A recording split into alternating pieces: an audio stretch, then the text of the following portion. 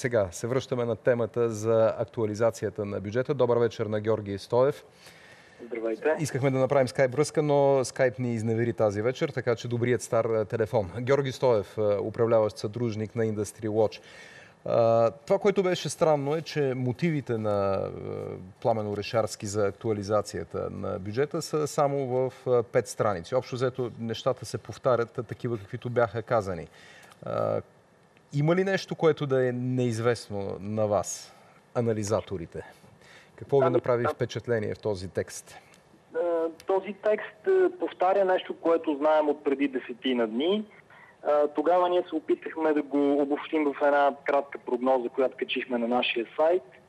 И в голямата си част тя се оказа вярна, т.е. очакваме нова емисия държавен дълг, основно с разчитане на, на вътрешна емисия дълг, като разбира се възможностите за финансиране по други линии на дефицита, т.е. чрез качване на фискален резерв или чрез приватизационни приходи към момента не са на лице.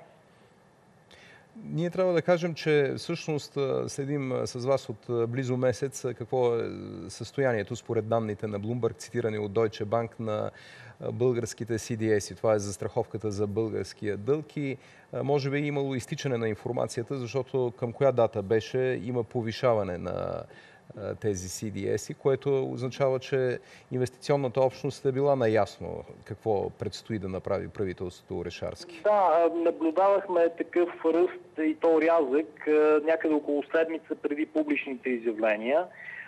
Но нека, нека да бъдем до край коректни. Това се случвало и в други, други периоди на активно управление на дълга, при замяна на едни облигации с други, при други решения. Така че това не е конкретно а, така специфично за това правителство, но, но със сигурност това, което трябва да се знае, че тази информация първо стига до дадени среди, до дадени финансови кръгове, с които се съгласуват тези операции. И става безпределно ясно, че от всички изложени аргументи в мотивите, от, подписани от премиера Орешарски, се говори за по-малко приходи докато данните са много странни, защото дори в мотивите се казва, че а, има излишък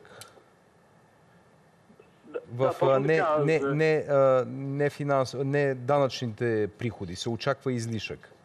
Има, поне по данните за изпълнението на бюджета, има излишък и няма основание за опасение, че няма да бъде изпълнена програмата на фиска съответно това не налага някаква актуализация и разбира се, дори при някаква кризисна ситуация може да се търсят резерви в разходите. това, което виждаме в момента е опит да се аргументира увеличението всъщност на фискалния резерв, един ресурс, с който ще може да разполага това правителство, докато е на власт. Защо тогава според вас се прави тази актуализация, която все пак сигурно ще бъде доста бурно обсъждана в парламента? Тя е рискована от политическа гледна точка, защото ще доведе доста негативи точно в сегашния момент. Трудно ще бъде за аргументиране, особено без публично достъпен анализ на това защо не стигат приходите и защо оценката за, за изпълнението е негативна. но при всички случаи това, което трябва да се знае, е, че опозицията ще критикува това решение като опит да се увеличат така да се каже, джобните пари на властта, нещо, което ще се задели на депозит, няма да носи никаква доходност, а по дълга, който се имитира, ще се плащат лихви. И е най-интересното, че в точката за разплащане с бизнеса всъщност става въпрос за фирми, които имат дълг от страна на Министерството на вътрешните работи и от Министерството на отбраната, което пък е свързано с Военно-медицинска академия, защото там се приемат пациенти.